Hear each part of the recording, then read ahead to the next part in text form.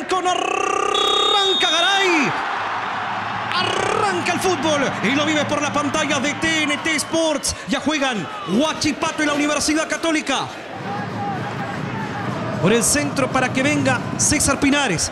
Le marca el pase Tapia. Aquí viene Gonzalo. Viene Tapia. Voy para aquí, voy para allá. Corre Tapia. Se mete al área y el primero. Tapia para Católica. Tiró. Se lo perdió Tapia.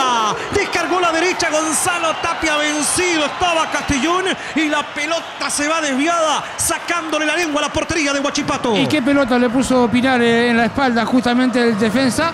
Ahí está un tres dedos perfecto. El vértigo que va a proponer el equipo de Católica con sus 12 hombres abiertos se le va ancha, no le entró muy bien. Tenía el primer palo más que el segundo. Castellón estaba ocupando el centro del arco. Tenía más posibilidades. Buena llegada y Católica se ve que va a buscarlo, no va a esperar. Viene Castillo, cuerda final, el centro atrás, Palmesano que iba, le queda la pelota otra vez a Guachipato. Buscaba a Montes, se equivocan, viene la Católica en la contra. Aquí está Clemente Montes, se le pierde el balón, lo va recuperando el auxilio Aravena, sigue Montes, abierto está en solitario Tapia, viene para Aravena, pelota larga, se va por el fondo. Creo que la opción era Tapia, que estaba de frente, Vichy. Sí, eh, bueno, el vértigo eh, justamente trae algunas dificultades. Eh, tocar en velocidad es una situación compleja. ¿Hay falta? ¿No hay falta? No, Sepúlveda le mete el cuerpo. Eh, daba la sensación, desde aquí sentadito, que era más eh, por el lado derecho el ataque de Católica. Auxilia Castellón.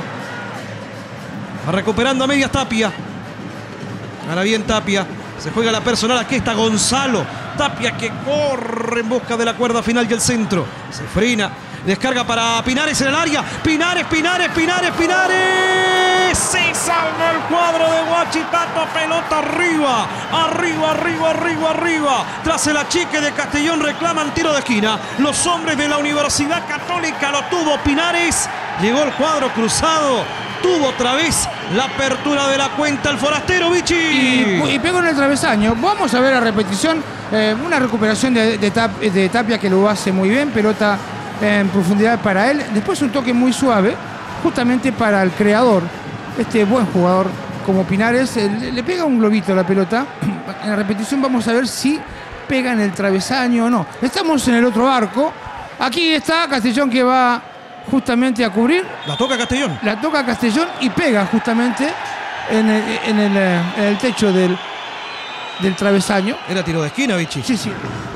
Acá viene Cajelmacher, pase profundo para Tapia. Corre Tapia, va Castellón primero. A, a eso me refiero. Uy, mire que. Atropella, O sea, es necesario. No, no lo va a amonestar, pero sí le va a llamar la atención. Y esta llamada de atención eh, eh, después trae consecuencias, porque entre la primera falta que haga, seguramente lo va a amonestar.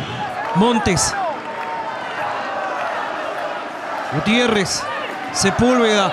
Rodríguez. Maxi Rodríguez. A las manos del portero. Preparó bien la jugada.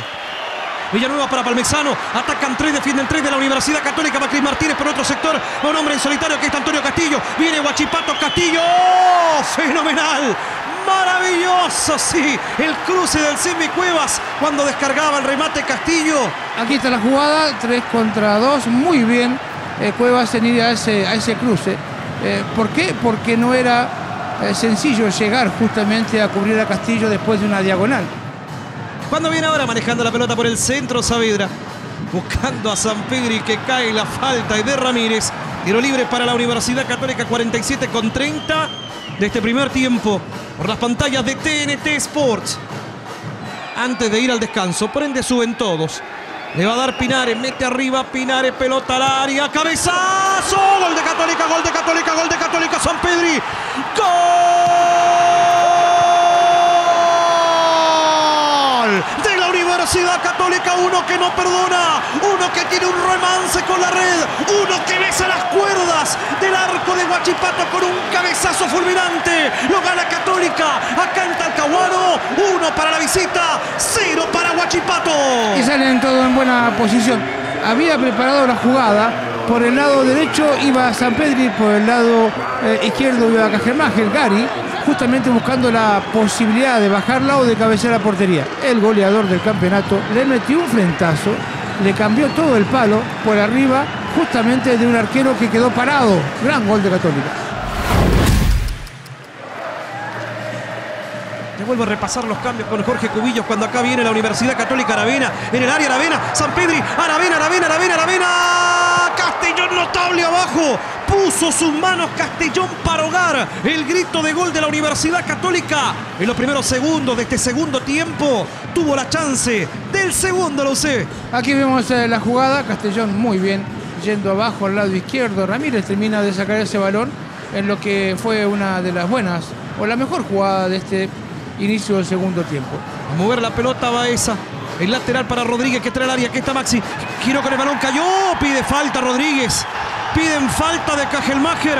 Frente a la jugada estaba el juez del partido. Garay, la vemos. Ahí vemos el agarrón eh, de Gary. Lo que tiene que terminar el árbitro justamente si es esos dos agarrones con los dos brazos le impide a Maxi ir por el balón. Dudas, ¿no? Pero Garay estaba tan cerca, tan seguro.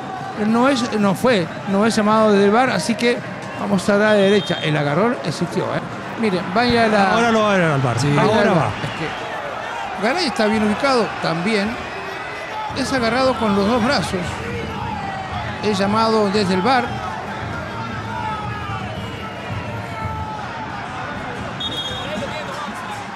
Penal. Penal, penal, penal, penal, penal. Penal para Guachipato. Para eso está el bar. Lo llamaron a Garay.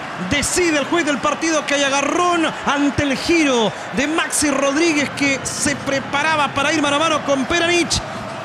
En 53 minutos de partido puede caer la igualdad para Guachipato. Martínez y Nicolás Peranich. Viene Cris Martínez, tiró. Gol, gol, gol, gol, gol, gol, gol de Guachipato. Gol cuadro de la usina que se mete otra vez en rumbo por el título. Cris Martínez, no hay mucho que celebrar. Apuremos las acciones. Guachipato logra la igualdad. Martínez y el 1 a 1 acá en Talcahuano. Y bien pateado una pelota que eh, golpea al final de lo que llamamos la pared del arco. Penal que se le hace difícil a justamente a Perani. Cuando viene el centro, pelota al área. Peranich. De los puños el portero. Se tiene el sol en contra, ¿eh? Vamos a ver. Ahí mire. Se va Guachipato por el centro, la pide Parmesano, se frenó. El toca atrás, Montes, la levanta Montes, busca a Cris Martínez. Martínez baja la pelota para Parmesano. Parmesano. Balón desviado. Armó bien Guachipato, pero en la última, Brian. No pudo encontrar el arco.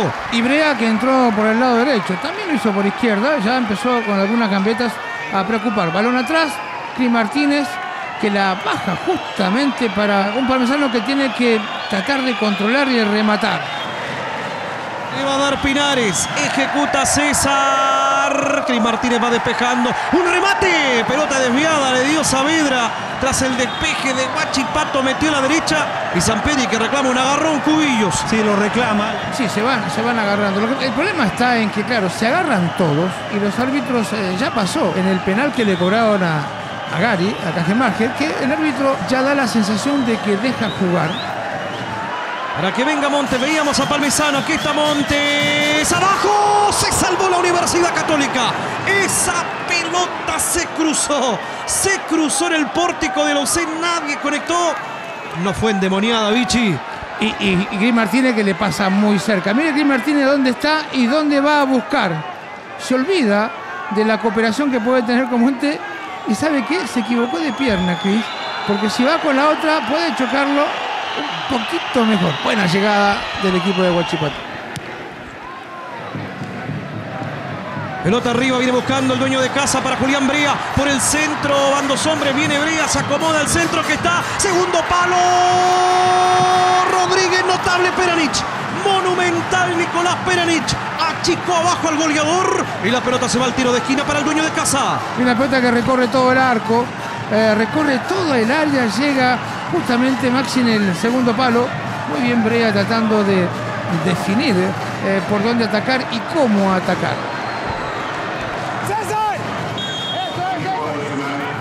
Tiempo cumplido para el juez del duelo. Terminó, terminó, terminó, terminó, terminó, terminó, terminó. Terminó en Talcahuano, en el estadio Huachipato. Igualaron Universidad Católica el Forastero Y Guachipato, el dueño de casa que tenía la opción de quedar en la cima con el resultado en Rancagua que terminó 0 a 0, se queda igual la tabla en la parte alta